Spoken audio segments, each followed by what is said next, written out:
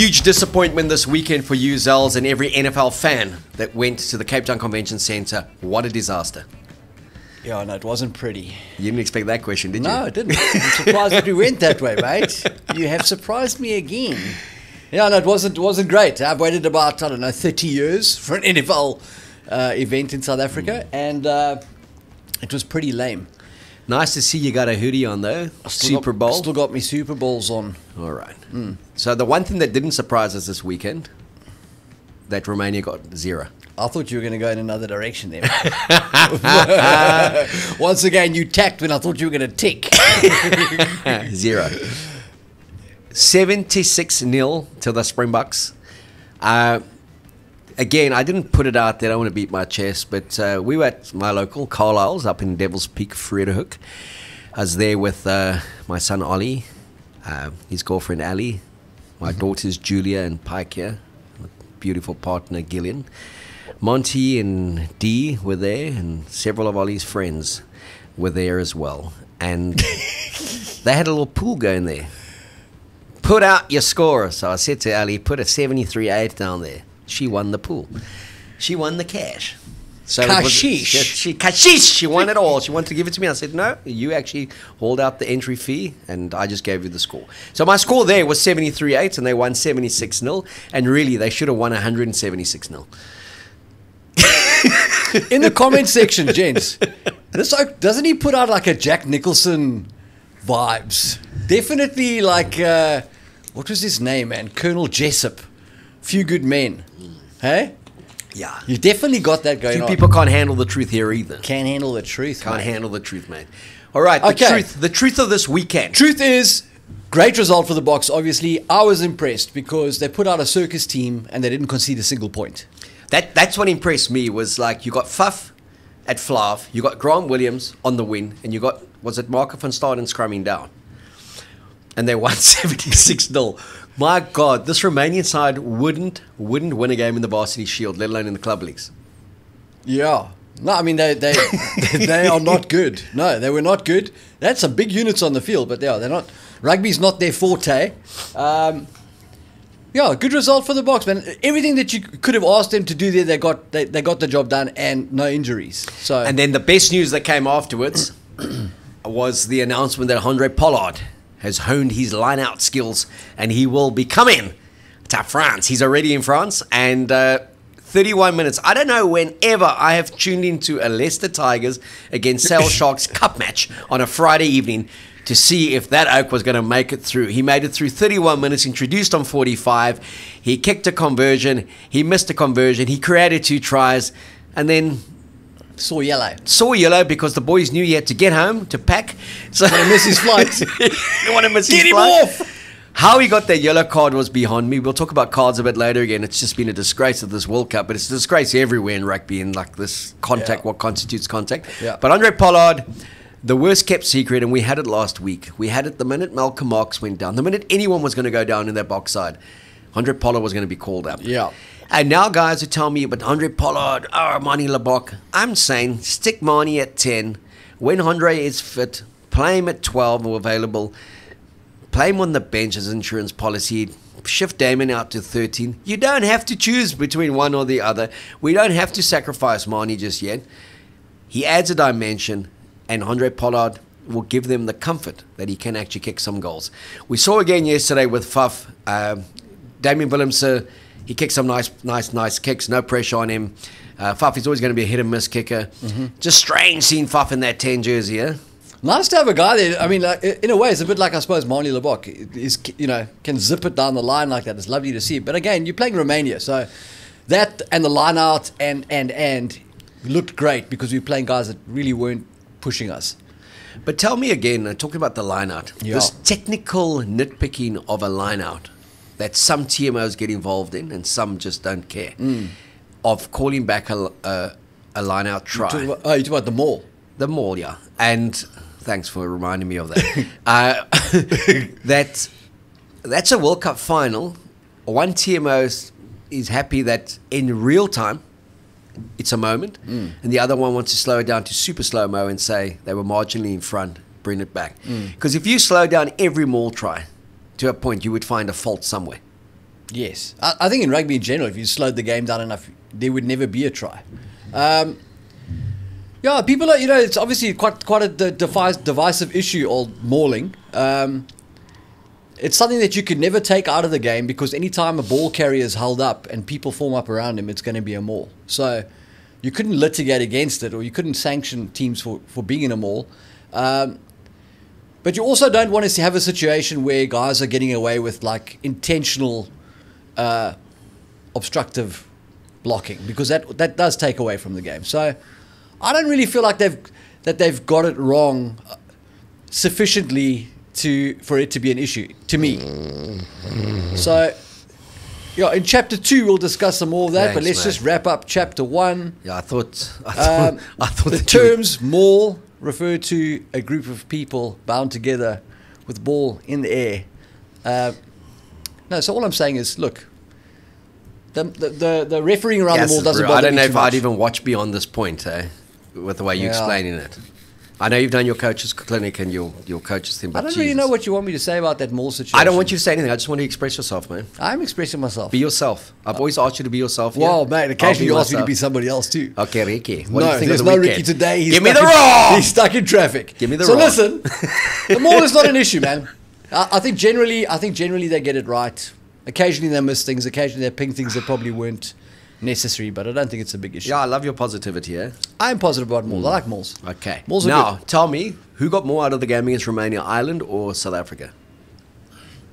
Um, I don't think anybody got anything out of that game. That's my answer. Ireland would have got nothing out of that because what do you what can you really tell about how the Boks play in that in that situation with four scrum halves on the field and and and and South Africa, like I say, the mission was don't get injured, bank the points, don't get injured. I was impressed with how composed and mature that performance was because I think it could have been really easy to just let your hair down a bit and have a go. Uh, and people are going to think I'm taking the piss, but I'm being serious here. I thought Andre Esterhuizen, in the context of that game, played well because there were opportunities for him to really like showcase himself, and he caught and passed, and he just did the basics. Did, did the trolls get to you, mate? I, I really Did the I- I trolls was get to you? It was nice in that game. You've been defending your comments about I'm never the defending Giant. it. Never defending it. I'm just saying Why did you single him out of everyone in that game? because he was a guy who caught my eye. He because a the trolls got to you. They said you dislike him. How was Damian? Very good, eh? Damian Willemse. Yes. mate, my guy. Eh? Very good. People think you don't like Very him good. either. Very good. Yeah. They don't know just how much you love this Bok team, eh? yeah. It's true. It's true. okay, you say they got nothing out of it. No, the Springboks, in the, no, outside of no injuries, and Ireland got nothing out of it. The key for me here is that Ireland picked pretty much their, their best 23 Hmm. to play against Romania, and we picked no 23. Hmm. Two of those players, potentially, the, the, the side gets announced on Wednesday. I would be surprised. Bongi will start. I don't think anyone else in that pack will start. Duane. Duane will start, okay? So You think Duane's going to start? Yeah, against Ireland. Really?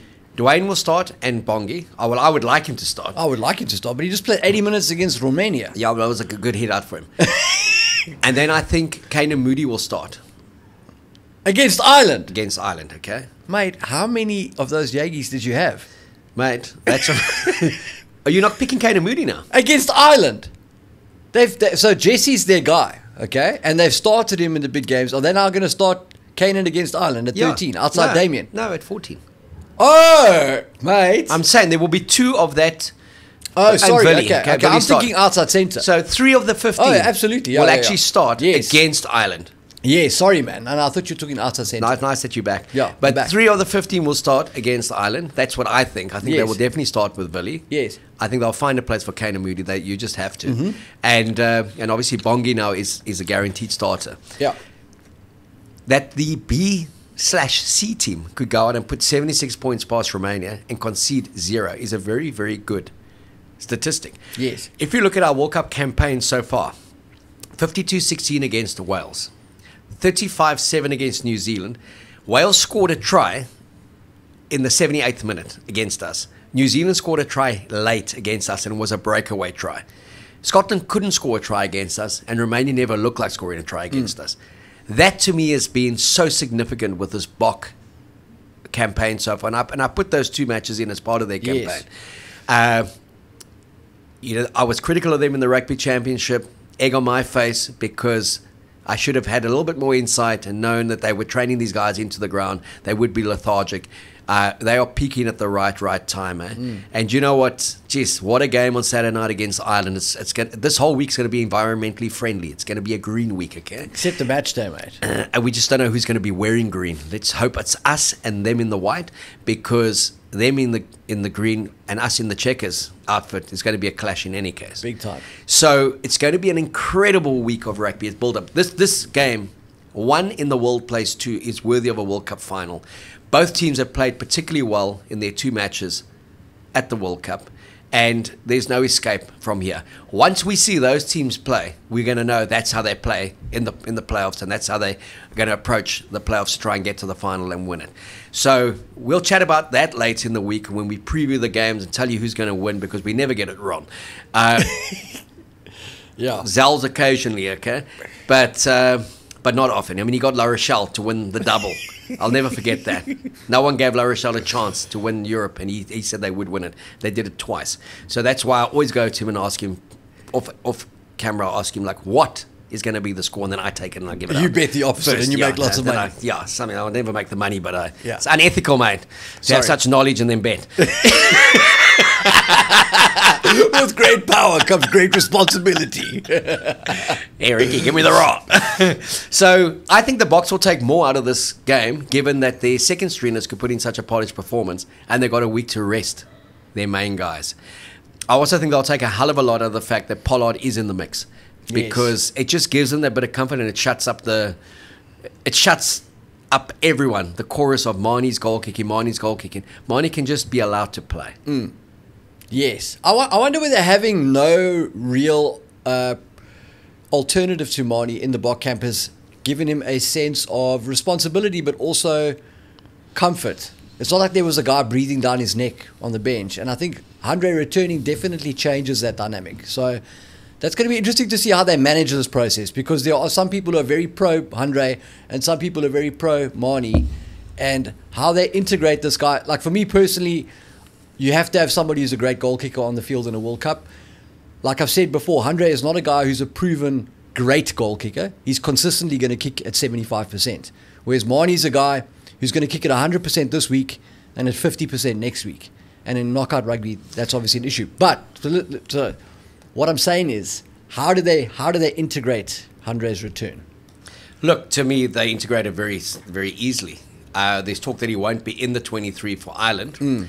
Look, I'm a kind of guy. That he's been in that team for Are you buying that, mate? I don't know. for, for, for, for six years. So I would have him on the bench against Ireland without a doubt. Uh, he would be he would be on the bench for me, and he would provide cover for 10 and 12 and the goal kicking, and I'd integrate him into that match. Uh, and and obviously he's the go-to guy come the playoffs.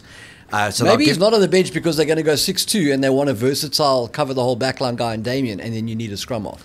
Yeah, and the, and the, and and whether they win or lose, they're still going to the playoffs, and they've got to either play France or New Zealand. So it's like, which one do you want? You know, uh, he'll definitely start against Tonga. I'm just glad that he's there. They got through 31 minutes for for Leicester, and. Uh, and you know, obviously a massive blow losing Malcolm Marx, and we spoke about that last week.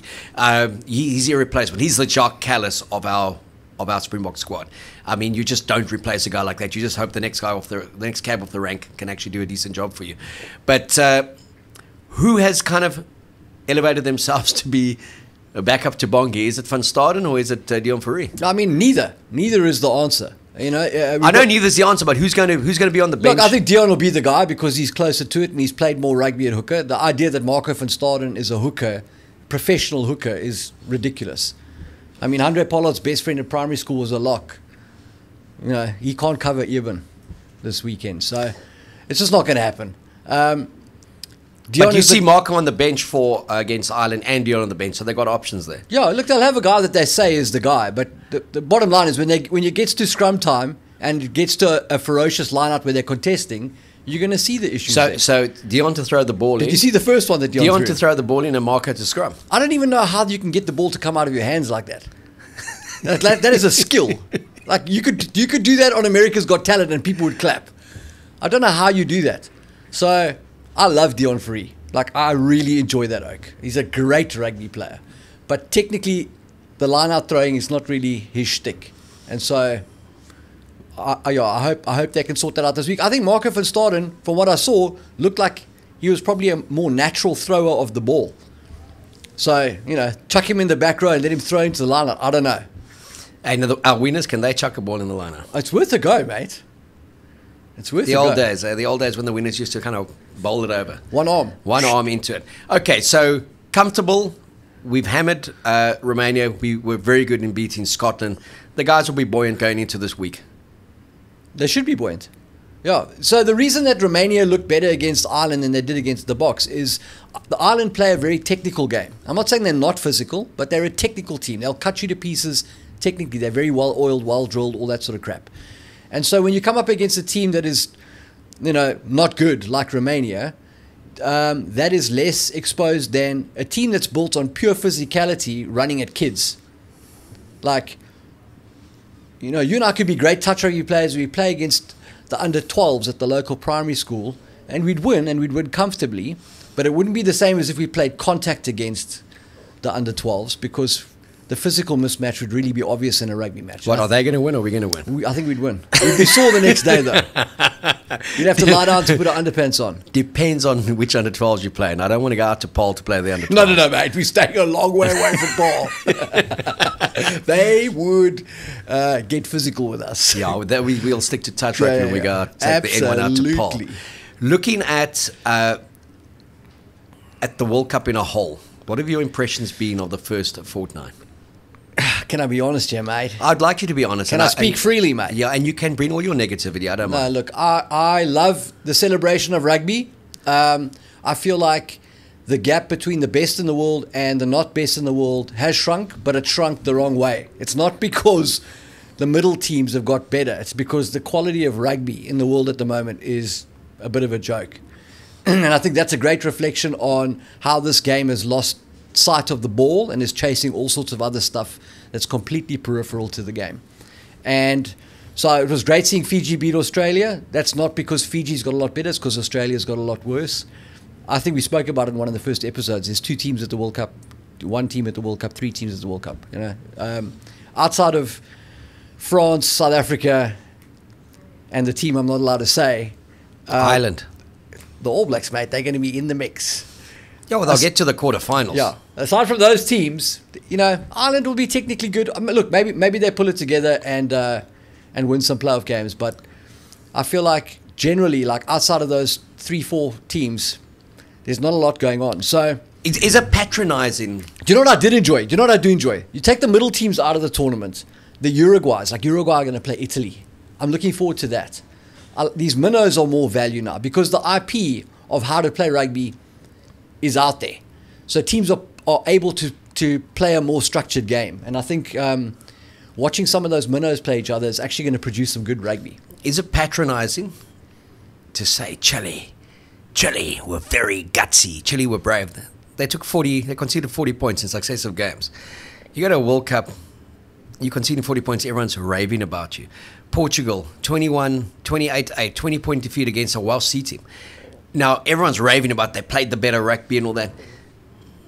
I just find it so condescending. Very. But you, right, but you, right- you yeah. lose by 20 and everyone's raving about you. You lose by Yeah, yeah. 30 everyone's raving about Yeah, you. yeah. And then the big teams win by 70 and it's like, oh, well, they're that good. Mm. They're not really that good. It's because they shouldn't be playing each other. Spot on. Rugby is a honeypot for those kind of people, though. The the hallmark folks love a good feel a feel good story. You know, a patronizing. Oh, well done for trying, champ. Better luck next time, slugger. You know, Just- it's embarrassing. It's terrible. Hey. Yeah. It's messy, man. It's just not good, eh? It's not good. It's we not got this great we got this great game on uh, on Saturday.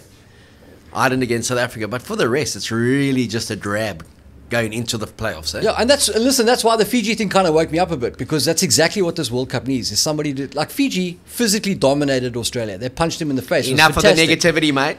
And uh, Don't be a smart ass, mate. and while I'm on the mic, mate, some of those Fijians, Tuisova, Mate, don't be a that guy that smartass. came on for Botia was just. Um, I thought it was Hilton Lobberts for a second. It was a man mountain that came on. 188, 115 kilograms of just pure like destruction. Uh, okay, do you think the likes of Koroibete and those seven Fijians of Fijian heritage Yes. in the Australian side, Vili Vali. do you think they deep down just thought, yes? We're doing this. We're doing this for the. do you think the they thought this is a great day for Fijian rugby and for Fiji, and we're glad that we could contribute to it? I am not going to get caught up accusing Koroibete of throwing that game for Fiji, mate. Um, but I mean, I'm sure their family weren't. Uh, there were no uh, tears streaming down their cheeks. You know, I don't think sure- they could be a loser on this day. No, they were winners all the way around. But I mean, you, you we both love Eddie's uh, antics, and we Yes. love Eddie uh, for what he brings to the game. But has he lost the plot? I think he's got the wrong trousers. You know, I think I think he's just gone to the World Cup with guys. He's gambled on building a young team in a sort of um, crucible of fire there at the World Cup, and I think they're just going to get burnt. I just don't think he's got the guys. Um, as much as I like Flash Gordon, he's kind of learning on the job. Um, Ben Donaldson will never play for Australia. I mean, post Ben Donaldson, mate. Come and their pack is just getting worse. Ben Donaldson, mate. I don't know. Should you not have taken a Quade Cooper, a Michael Hooper, and said, just try and get us to the quarters, maybe the semis, and from that we'll build? Because the, he may not be in the job after this World Cup. Yeah, so I think I mean that was obviously definitely an option for him. I think that maybe they beat Fiji, right? If Quade's there, um, if Beale had been available, and if Hooper played, maybe they maybe they edge it, they squeak it, and they beat uh, Fiji. But I think I think he I think Eddie knows that this Australian team, no matter which way he dresses it up, is not winning this World Cup, and he's thinking maybe a bit long longer term, and saying, okay, so what do I do with this time to get us ready? um, for what's coming. How do, how do I put us in a position to win a rugby championship in the next two years? And I think spending time mucking about with guys who are there on a swan song, he probably thought it's not worth it. I don't know. I'm guessing. I'm not in the mind of Eddie here. I'm just guessing. Maybe he has lost the plot. I don't know. But it just seems like if I look at that team and who they could have brought in, it's not like they've left left behind Frans Malherbe. It's not like they've left behind Eben Etzebeth, you know? The guys we're talking about are finesse, tactical, playmaking kind of guys. So, Eddie, you know he's he's he's great for the media. He's uh, he's great for a for a headline, but a clickbait. But I I also just feel that he's not really answering the questions because he doesn't know how to. So he's starting with throw me with baguettes, mate. Give feed me a croissant, mate. Yeah, I got it wrong, mate. So everyone takes the piss and they laugh. But he's actually That's the not. point, yeah. He's actually not saying this is the eight we selected, this is the ten we selected, this is the fifteen we selected, and this is where I think we got it right or we got it wrong. So you can't actually, and I've, I've watched some of his press conferences. He's not engaging in any form of inquisition Hmm. because he just starts out by taking the piss. I don't think Eddie's going to sit at a press conference though and say, Raelene Castle destroyed Australian rugby and Dave and myself are rebuilding it from ground zero. I mean, Dave Rennie must just be laughing, eh? Absolutely. I mean, that guy, as poor as his record was, 36%, okay? Eddie's now won one out of seven. and Mate, he 36 is great considering what he had. Eddie's won one out of seven. eh? Yeah. And that guy didn't play the likes of Georgia and, and Fiji and that. He was playing the All Blacks, the Springboks, Yeah. France, England, Dave. okay? So Dave, and they were competitive in a lot of those games. They beat the Boks back to back. Mm. And they beat them convincingly in that second test. Really played well to, a couple of years ago. Now, to see that Australian side at 22 8, I was like, a better team in terms of, when I say better, Mm. more cohesiveness, tactically more astute, would have rolled Australia by 40 points yesterday. Mm. And this was their must win game. But that's been missing from Australian rugby for some time now, right? Australia, since Eddie got involved with them, they became technically very good. But we spoke about these guys Justin Harrison, Owen Finegan, Jeremy Paul, whatever. You know, Rocky Elsom, even. They used to have a few guys there who, you know, you had to respect physically. Rocky Elsom was a god when he went to Leinster. Yeah. So now you look at Australian rugby now, the demise. We all, all know that it's not you know a top five sport there, but they're just they're getting boys. They're not getting men. Like where are the Oaks? Valetini stands up. Um, but where are the their their their great specimen, their great hero of their warrior, was five foot ten Michael Michael Hooper. You know where where are the guys? And I think that's got to change, and that is something you don't change overnight. That's that's a grassroots thing. Well, I mean, I, I, I, kind of want to take you on about that because I think Mark Michael Hooper's a fabulous player. He's a good player. And uh, He's there's, a a, there's player. a two foot nine giant that's playing for France and wearing the number nine jersey. So are you saying that the guy must be uh, like six foot nine? No, what I'm saying is, what I'm saying is, France have got some monsters in that pack. Okay, But their giant is a Napoleon. He's, he's, he's I'm not. I'm not saying your best player can't be a, a smaller guy. What I'm saying is, the Australian rugby, their their most their toughest, most physical hero, was not was was a diminutive. he wasn't. Did you see the size of his neck? Mikey Hooper. Yeah, and that's like a staffy. No, but I'm they just- want to ban those kind of dogs. Okay, street fight between uh, Michael Hooper and anybody in the Boks starting. I'm eight. telling you, Michael Hooper, if he gets you on the ground, he's going to pin you. You're not going to get him off.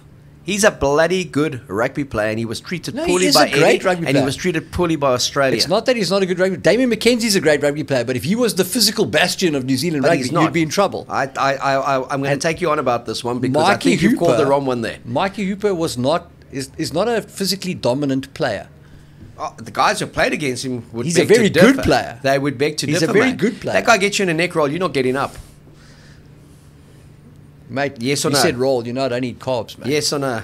No, no, no. Look, we talk about me. Hooper would destroy me. Okay, I just wanted to hear that. I think Mike Hooper's a great player. He is a great player. He should be at the World Cup. Should be leading Australia. Okay, but enough of the Aussies. I mean, we don't really Enough care. of them, mate. We don't really care. We don't All I need know them. was on a We great like to see weekend, lose. mate, for the Aussies. They lost in the cricket to South Africa. We came from two 0 down in a five match series and we won three two. Yeah. Pumped them at the Bull Ring. Um, by 122 runs, I think, and uh, we won comfortably. So a great win for the Proteas. Uh, we got an interesting email from uh, Ray Boner. Ray Boner, or Ray Bonza, I don't know. Ray Boner, and he's a South African who's been in New Zealand for four years, and he doesn't like the fact that we say mate. Mate. Mate. I mean, it's a bit of satire, but mate, we would say boot, What but we don't say boot in Cape Town, eh? Uh, the the guys who say boot are from the Eastern Cape, eh? Those those those English oaks, those privileged oaks from the Eastern Cape, those white privileged oaks from Grahamstown. Can you imagine sending someone an email to But- say, "Listen, why are you saying mate so much? What? How? What do you get out Ah, of but that?" he loves the show. He loves you. Does eh? he? Okay, Yeah, great. yeah. Good man, Ray.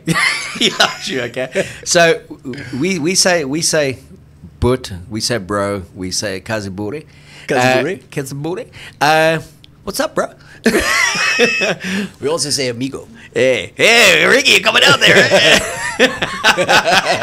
don't you want to give Ray a, very, a cool message No. Huh? No, not All right, you because you. I mean, I know your wife can't stand Ricky Rodriguez. She's had enough of Ricky Rodriguez, man. So uh, and coffee. yeah, that as well, and yogurt. But your stars of the weekend, then. Stars of the weekend.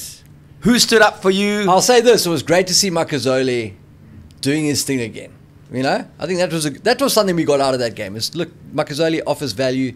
The Oak is in reasonable form, and he is a threat to score anytime he touches the ball. He's a great finisher, but at the moment, you just wouldn't pick him ahead of the other guys there. Kurt-Lee Arendse, uh, No. Canan Moodie, they're just better rugby players. Whose stock round. went down the most? Willie le Roux, mate.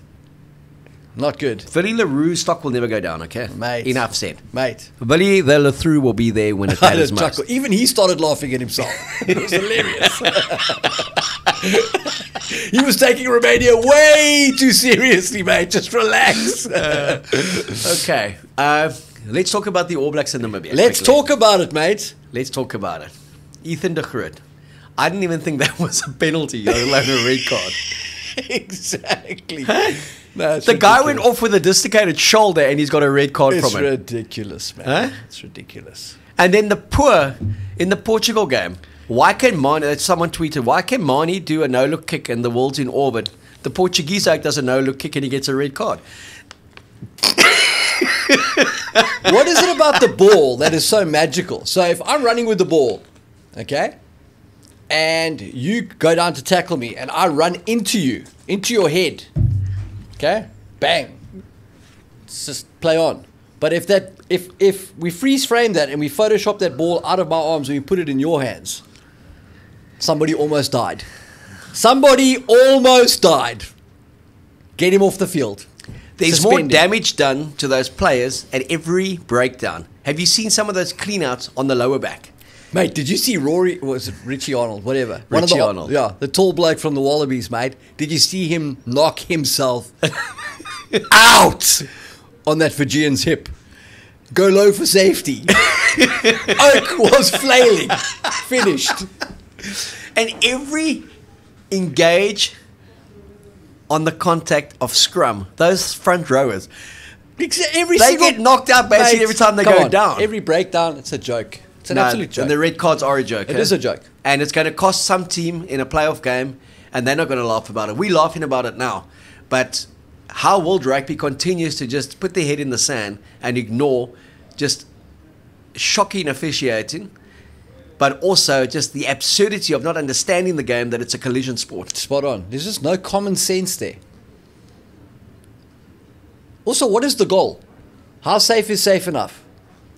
It's never going to be safe enough because it's a collision sport, and as uh, as as as Heyneke Meyer always like to say, is ballet is a sport, a contact sport, but rugby is a collision. Yes, mate. You got that from the NFL. I like that way you that. came, brought us all the way back around. I did. I, I quite enjoyed it. Very okay, so uh, I've really felt for Tutti. Didn't Really felt that much for Matty Proudfoot because that was the guy that left the Springboks and said he learned more from Eddie in a week than he learned with the Springboks in a year. Uh, we clearly saw he didn't learn that much. I was gonna say. because uh, he took Marty's out of a final and he's now with Namibia. And that did you see that first scrum of the Namibians against New Zealand against that powder puff New Zealand pack? They rolled them by about 20, 20 meters, nah, six meters, but. Felt like 20. It felt like 20. It looked like 20. And I just felt for Tuti. I mean, he was in Albany when they lost 57 0. And just to watch that Namibian side, our, our, and our condolences go out. When I say condolences, because we're L- Le Roux Malan, I was gonna who plays for yeah. UCT, uh, see, plays outside uh, old Sax boy Davy Hayes. I don't know if he's ever going to play again when they see how that ankle looked. Yeah, yeah, but again, uh, this the political correctness that, that no one would even show the the replay, replay. to see how it's been done. Uh, people were applauding that. Uh, but that's what I mean. Rugby's become a honeypot for that sort of like touchy feely virtue signaling BS. Disaster. So so so so head contact is lethal. You could give guys dementia, but we'll watch a slow mo replay of a guy taking a shot to the head for five minutes and debate it on live TV. But a guy breaks his leg, which nobody's campaigning for bringing an end to in rugby, and you can't watch the replay.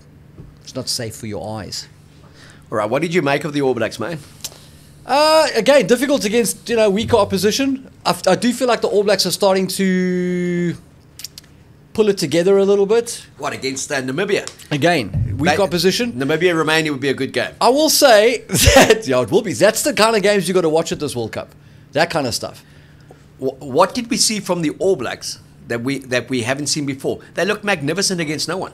Yes. Uh, played with width, took the ball through phases, because they it was an unopposed contact session. Yeah, what they did do was they chose the team they should have chosen, well, the backs that they should have chosen against the Boks. That physical back line, I think, is the answer for them. It takes the pressure off that pack. Um, I think uh, Damo McKenzie, as much as I don't think he's necessarily a starting fly half, definitely added value. Obviously, more time and space against Namibia, but there was a bit of spark there. So you, you say Leicester must be picked ahead of Telea or Will Jordan, or would you pick Will Jordan at 15 and uh, Telea and Leicester on the wins? I, I just think that the, the All Blacks have got to make a concerted effort to add a physical edge to that back line. And whether they do that by playing Leicester at 12 or picking Caleb on the wing or featuring Will Jordan more in some of their play, I don't know. But there needs to be. The, the, the, the backs need to start looking after themselves in that team because they can't rely on the forwards who are going backwards at times against bigger teams. So, All right. Yeah. So we, we, we take nothing out of that All Black game. Uh, they'll beat Italy when they do play them probably by 15 or 20 points. They're going to either play South Africa or they're going to play uh, Ireland in the quarterfinal, and we'll see what they've got. I don't think it's much, uh, but that's going to be in, in three weeks' time. England cruise past uh, Argentina, cruise past uh, Japan 34 12. Jeez. but when you say cruise, mate, with tatty sails and uh, just, I mean, Poor. No, it's just nothing in it. It's, what England are getting right is they're playing clever rugby. I'll give them that. So it's not pretty to watch, but they are playing relatively smart rugby. And Georgie Ford, Chopper's come to pick you up, mate. I believe so, mate. You're on your way to the next show. when did you get the helipad put in, mate? it's Ray Boner, mate. He's come to get us. Come to get us. Sorry, but. Uh, Bro. Yeah. Booty. Cousin bro. I, uh, Mate. matey, you've broken my train of thought. Um, England, you said they're playing clever Yeah, so look, I think Georgie Ford definitely adds a bit of brains to that team, and that team can use it. And I mean, also some great execution. Those cross kicks uh, to to Freddie was great. Um, just having a guy who who understands what to do at the right time makes a big difference. Does Farrell come back at 12? Mate, he may be back at quarter to eleven. I don't know, but he's gonna he's gonna add a lot of value there. But he's 12 and they keep Ford at 10 for the. And by default, Ford could be their key Yeah, at 10. Yeah, I think they've what they've done at this World Cup is shown that they they that they can put it together with Georgie Ford pulling the strings, and so I don't you know I don't think Farrell is a twelve. I don't particularly like him there, but you can't it can't hurt you. It's not like that. Well, I suppose you put Tuilagi outside and then have Farrell at twelve. I suppose you could do that. I just think they're onto something there, and they mustn't mess with it now. So as much as I like to have Farrell back, they just need to think clearly around that because Farrell is not that hammer at twelve that's going to set a target and, and be the big physical straight runner uh, like Andre the Giant. Like Andre the Giant, mate. And he's also going to want to play a, a bit of a part in the tactical game. And like I say, Georgie's this, he's got something going on there. So, yeah, I, I think having Owen Farrell back is, is definitely a plus. How they use him to the to the benefit of the team remains a point of interest. All right. So we looked at the two weeks that we've had. They've all played two games. Uh, have they all played two games? No, Samoa's played the one, eh? Scotland doesn't play again until November, mate. Oh, God, it doesn't matter if they play or if they don't play. But the one against uh, Ireland's going to be good. Uh, still, our top three teams would be Ireland, South Africa, France. Hmm. And we know there's always been a big breakdown between the French starting 23 and the next best, as Yes. we saw in that game Jeez, against uh, against Uruguay. There, there- there's a huge discrepancy. There's a huge Great discrepancy in Ireland's next best and their first best. And that, the one thing that we saw against Romania, there's not a massive discrepancy in our best and our second best. There is in certain certain key areas, but by and large, we've got a very strong 33 at the World Cup. And I think if you look at all the sides, would it be fair to say we have the most depth? Yeah, I, I would say yes, but I would also say what the Romania game showed was that we are a system driven team. We are a team that plays to the system and stays in the system, and the system is very efficient. Whereas I think with France, yes, there was a drop off between the starters and the next guys, but that team is probably more driven by individuals and their specific contributions. I'm not saying they're not structured, they're very structured in their kicking game. I just think that it's more reliant on the people that are in there than necessarily the system, if that makes sense. And uh, if you looked at the weekend, mate, Yes. who who was your kind of player of the weekend? who really? I mean, Andre the Giant. You said you really loved the. You I caught like your eye. He, yeah, I like the way he played. He, he was composed, man. I like that. He didn't get caught caught up in that whole thing. I expected him to try and run away and score a million tries. He was just catching and passing. He was Cobus. Reinach did that. Cobus Reinach did really well. Yeah. he just sped away and Yeah, scored. yeah, he was like, forget you guys, I'm going to score. I mean, I think he's our highest World Cup scorer. and He's played against Canada and Romania. that is ridiculous. That'd be a great stat. That'd be a great stat. But, and how's uh, the wheels on Grant Williams, eh? yeah, I know that guy's uh, Cheesy he- moves. We're going to wrap this up by saying we, I s- I asked you earlier who gained the most from that Bok performance, and that's where I want to wrap this up. Yes. because you mentioned Grant Williams. Surely he leapfrogs everyone into that 23 as backup to Faf because of the versatility and what he can cover. I thought Reinach is, was outstanding. He's a very good scrumhalf. Jaden, he's a very good scrumhalf. Faf will always start in the big games. Did Grant Williams do himself favors? Yes. Oh, absolutely. yesterday? I think Grant Williams is a great guy to have on the bench when you for impact. He's a great impact scrumhalf, right? Um, like you would never have Fourie du Preez on the bench because you'd be like, well, what is he going to do off the bench that he isn't going to do as a starter? And I think if you're looking for a physical defender at nine, then Faf is the guy that starts. He knows the plan, he's experienced, fearless. Some may say crazy. So Grant Williams comes off the bench and he can he can raise the tempo of the game and really like attack around the fringes, take advantage of guys who are a bit out of puff in the second half. Uh, I think there's massive value in that. But so, for example, let's say Faf gets injured and we're going into the quarterfinals now, I wouldn't say Grant is the next guy in to start. I think Grant has a role in the bomb squad.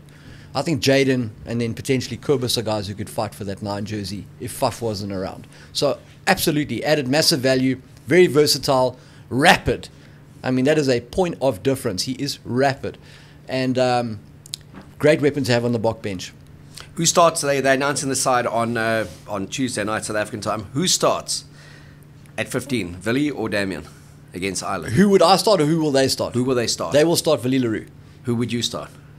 I would start Willie le Roux. You see, what is it about Damian that you don't like? I don't like him at fullback, mate. Did you see how he stepped that, that kid broken to score that try under the poles? Beautiful. Close to He's the rack, great yeah. in traffic, man.